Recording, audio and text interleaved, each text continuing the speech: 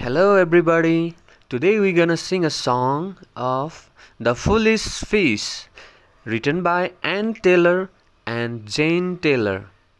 So here it begins. Dear mother, said a little fish, is that a worm I see?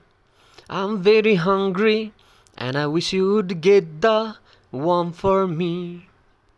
Sweet innocent the mother cried and started from her nook. That worm you see is there to hide the sharpness of a hook.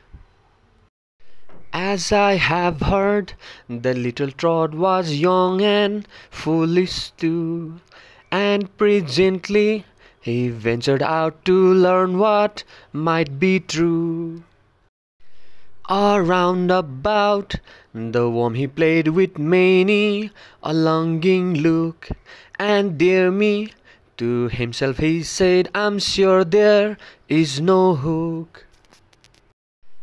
I think I'll give one little bite, and that was what he did.